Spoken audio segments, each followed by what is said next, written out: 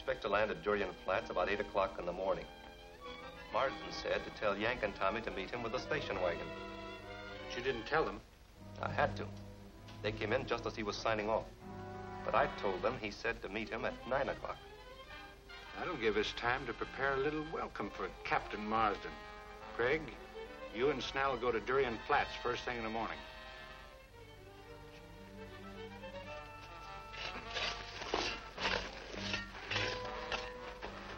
I hope we got them planted in the right places. Well, it's a cinch Marsden's plane can't miss all of them. Hurry up, he's overdue.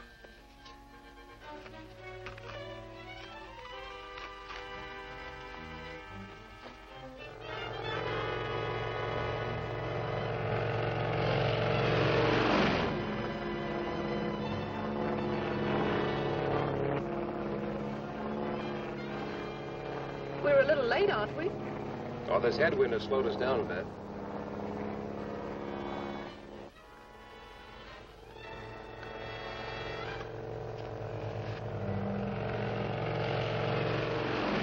It's landing at that end.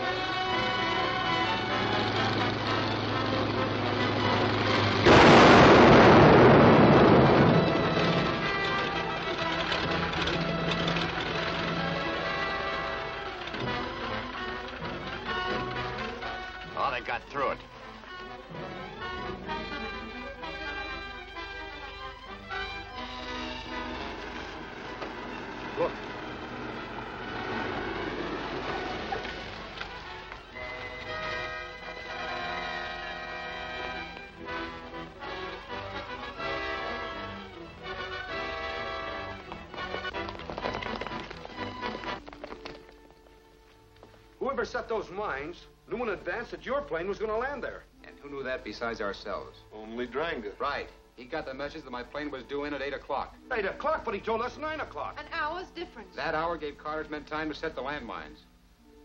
Looks as though Dranga's been selling us out. That explains why Carter's always just one jump ahead of us. He's over at the store. Let's go over there and get him right now. Wait a minute, Yank. It isn't Dranga we want, it's Carter. Carter's the man whose crime I'm accused of. And he's the one who's behind this reign of terror on the island. You mean we might make Dranga lead us to Carter? Yes, but only if he doesn't know we suspect him. If it's inside information he wants, I might give him some.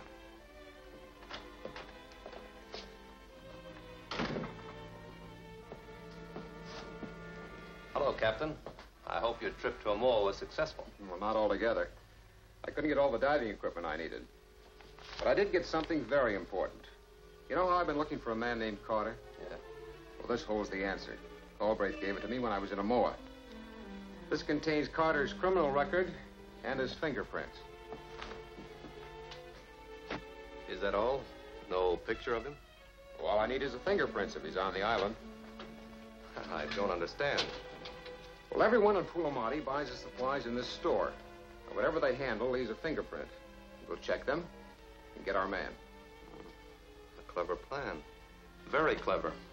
I'll bring a fingerprint kit over this afternoon. If you want me, I'll be in the bungalow. Right.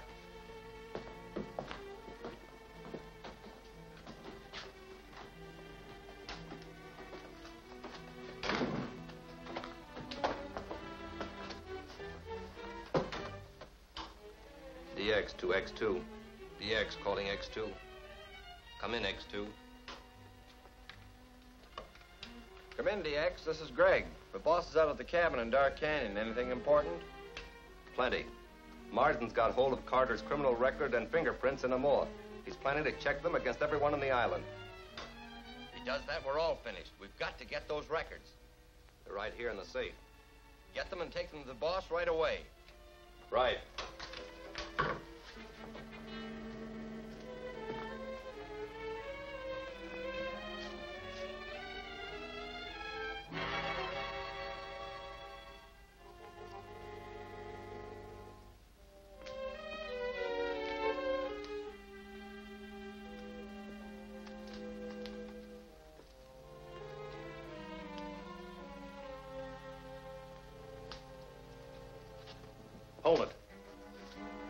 Toss that gun over there.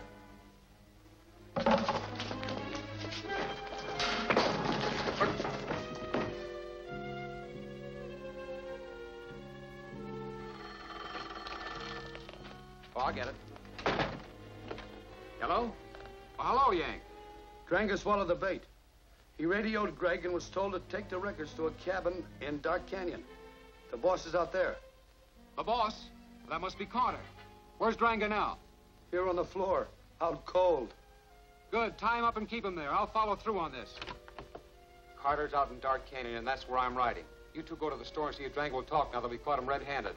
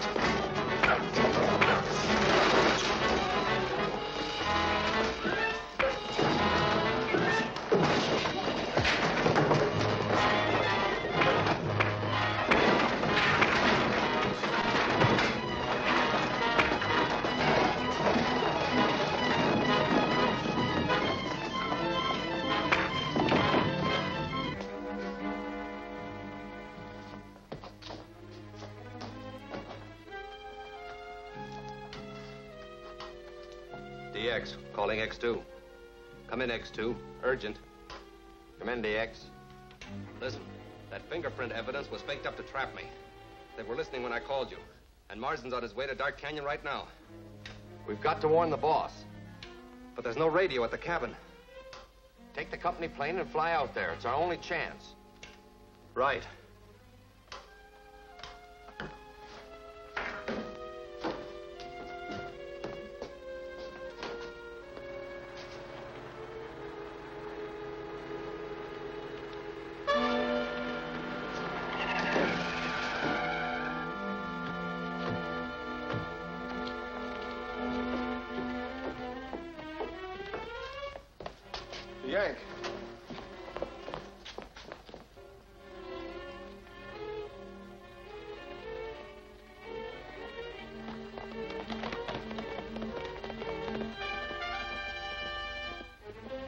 What happened? Where's Dranga? He got away. He's probably gone to warn Carter. Then Jim's going to need help. Let's get started. Wait. Wait till I get my gun. Take the company plane. You can make it quicker. Okay.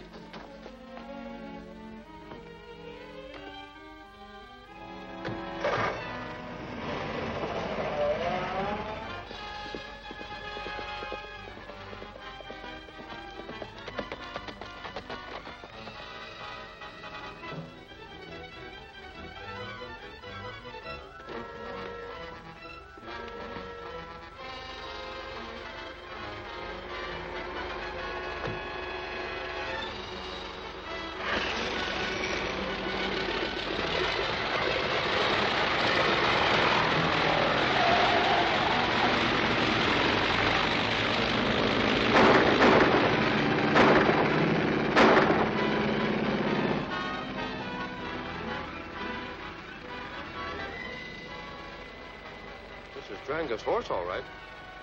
Well, it's a cinch he's heading for Dark Canyon. Come on.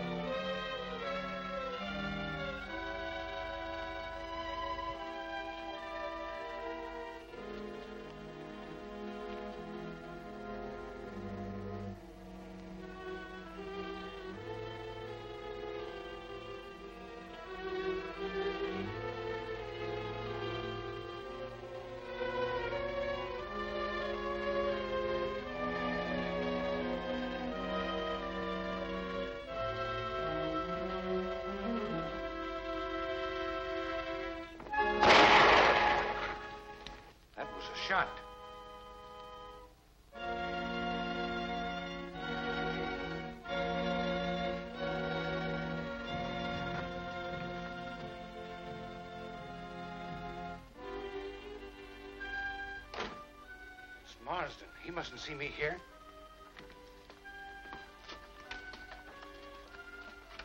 Get back to the table.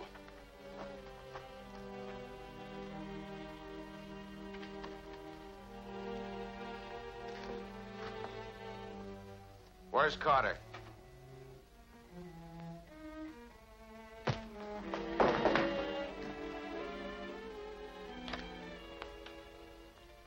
I wonder if he came alone.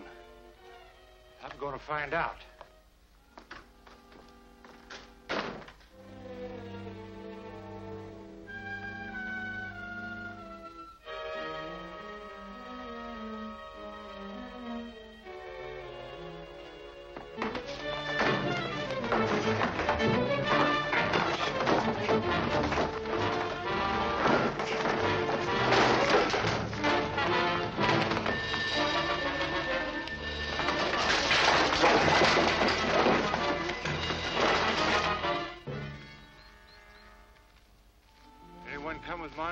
Don't think so. Did you finish him? Not quite, but I will now.